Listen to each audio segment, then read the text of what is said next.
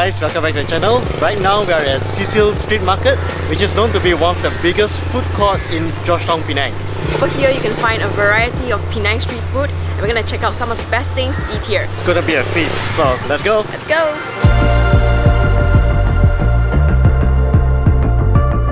For tourists like us, this wet market would have been mistaken for just another local market.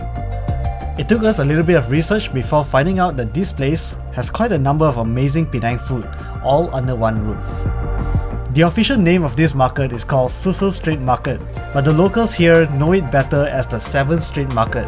Probably it has something to do with the fact that it's exactly 7 streets away from the Komtar Tower. The market itself is split into two parts. On one side is where you can find everyday goods like fresh food, clothing, and household items and on the other side, it's entirely a food court. Inside the food court, you'll see row after row of food stalls selling a variety of Penang street food. And the best part is, you can rarely find stalls that sell the same food. But we have to admit that looking for a specific stall in here is quite an adventure on its own. However, navigating through this maze-like layout is like diving through the local culture. Alright, so first off, I'm gonna have one of my favorites, the Kway Teow Thng, and this place is really famous for it. It's called the Lum Lai Duck Meat Kway Teow Thng. Lum Lai has been serving up delicious bowls of duck meat kway teow thng for over 30 years. If you don't know what kway teow thng is, it's literally translated as flat rice noodles soup. It does resemble the Vietnamese pho, but despite the similarities, this dish has its own character and flavor. Just look at how pretty it looks. It has so much of the ingredients right on top of it. The crispy pork lard, the shredded duck meat on top, the spring onions, some deep fried garlic, fish ball. There's some fish cakes in there as well. It looks like there's two different meats. I think one is chicken and the other is duck. Alright, gotta try the broth first. Here goes. Whoa. It does look like a very light soup, but it has a lot of rich flavors in it. You can tell that this broth is clearly the result of both the chicken and duck meats being boiled for hours and hours. The duck meat itself oozes a delicious meat sweetness that gives this bowl a burst of umami. As usual, I like always put some chilies into my spoon. Mm. Everything just goes really well together. It's so flavorful and the broth itself is packed with a lot of flavors. Definitely recommend you guys get this. Of course, breakfast isn't complete yet. There's still more to come.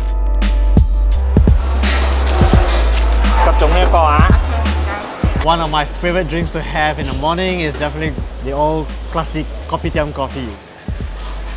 Oh, so good. So what we got here is the Chinese pastries and this is probably a really famous one. This is called the Yao Cha Kwai. Definitely have to try this out.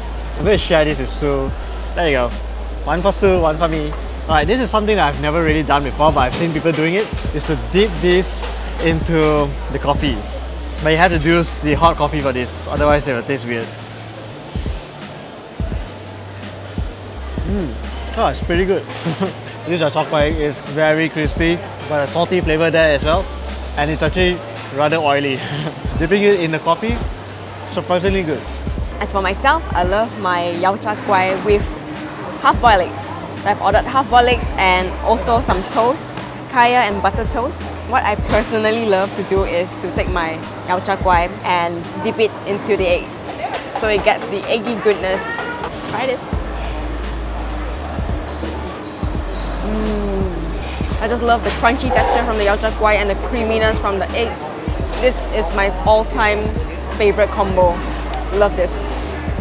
So what I have here is the toast with butter and kaya. They've actually separated this one. They even have some sugar beside. I think it's for the butter. I'm gonna try with the kaya toast. Mm. It's funny how in Penang, they serve the half-boiled eggs in cups. Like cups literally. It's cute. I forgot to add the soy sauce and the pepper in it. I love my pepper. Mm.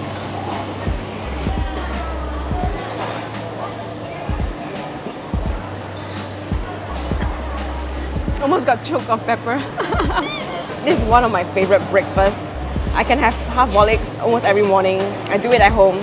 So another Chinese pastry that is recommended to get over here is this kapchong, which is basically glutinous rice in this pastry. Let's try this out. Mm. The crust outside is a little bit crispy and salty. Then the rice is more towards the sweet side. We also got ourselves hum jing bang. This hum jing bang comes with a red bean. There you go, there's some red bean paste inside. Kind of looks like dorayaki.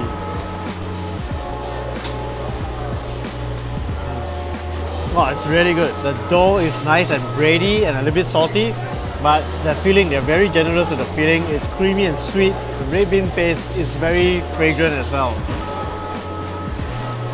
The market has these sitting areas in between the stalls. Sitting here, we can pretty much watch the life of this market surrounding us. And if you listen carefully, you can hear the clanking of the wok in the distance, which takes us to the next spot on our list. This unnamed stall can only be identified by this sign. The uncle here uses the traditional method of frying with charcoal fire. He even lifted his wok to show us the charcoal, but unfortunately we missed the opportunity to catch it on camera. It smells so good and uncle say it's fried with charcoal fire. Man, can't wait to eat this.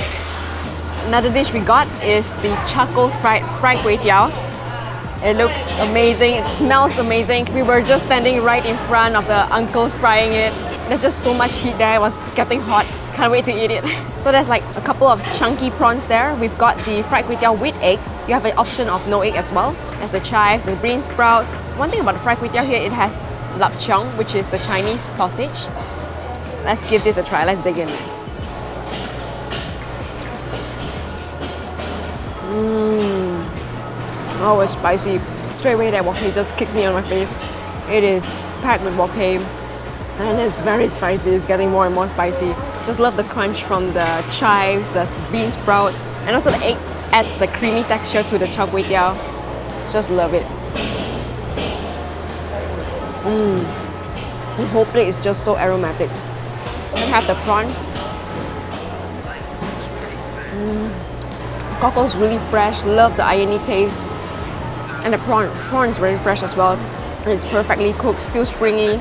It's really good char kway teow. There's also an option for duck egg, but I just want to try the original chicken egg char kway teow. This is 5 ringgit. The duck egg one is additional 30 cents. So if you're into duck egg, you can try it as well. On a hot day like this, I love to get my barley ice.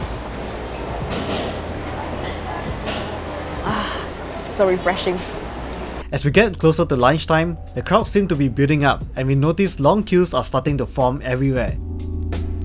The biggest attraction here has to be the massive food option. There's everything from light snacks, heavy meals, to desserts. And speaking of desserts, we'll end our feast with some pasembur and kueh. Alright, so what I have here is the pasembur and this has a little bit of a Chinese twist to pasembur. The pasembur is basically rojak but in a very different style. So in KL we call this rojak, but in Penang this is pasembur because rojak would be the one with fruits. It's really just coated with a lot of the sauce. There's some shredded mangkuang there, which is also known as the yam bean. So this pasembur actually comes with jellyfish. Very interesting twist to pasembur, of course. As usual, you have the deep fried fritters, lots and lots of vegetables down there. There you go, this is a tofu as well. Let's just dig in. Mm. Oh, I really love that sauce. It's a little bit potatoey. It's very creamy and thick and a hint of spice. It's more towards the sweet side, but it's so flavorful. There's not much flavor from the jellyfish. It's kind of like blends in together with the vegetables, all the crunches and the sauce from there. Basically just feels like another vegetable in there. Overall, I think this is a really good pasembur. I'm really enjoying this. You guys should try it out. Alright, so we're going to finish out our session here with some desserts. And for desserts, we got ourselves a bunch of kuehs. I've got like, I think six different kuehs. I'm going to try a few right now. The kueh lapis, which is the layer kueh. Oh, it's good. It's very, very creamy, very, very soft and bouncy. Not overly sweet. Next I got is the tapioca kueh, some burnt charred parts on the sides. Feels a little bit like glutinous rice, but it's tapioca. Ah, it's flavorful, it's rich, it's nice and soft, and it's not overly sweet as well. This is my all-time favorite. It's called the angku, also known as the red turtle. Because it kind of looks like a turtle shell. Inside this is actually some mung beans in there and a nice gelatin layer outside. Let's try this out. Mm. Oh, the outside skin is nice and gooey. The inside the filling is a little bit more, it has a very mild sweetness. I usually prefer it to be a little bit more sweeter than this. So the kueh I got here is actually Sue's favorite kueh. It's got the sticky rice at the bottom and some kaya on top. With uh, the coloring of the blue came from the butterfly pea flower. Mm. The kaya is nice and sweet and creamy. The rice is very nicely cooked, so good. There are quite a variety of other kuehs as well. You guys can come here and try it out. It's definitely one of the recommended foods to get from Cecil Street Market. I am super stuffed right now. There is just so many things to eat in this market. It is endless. we'll be leaving more information about this place in the description below so you guys can go check it out. And if you like this video, please give us a thumbs up and subscribe to us if you like to follow us on our travel and food videos. And as always, thank you guys so much for watching. We'll see you guys in the next video. Bye guys!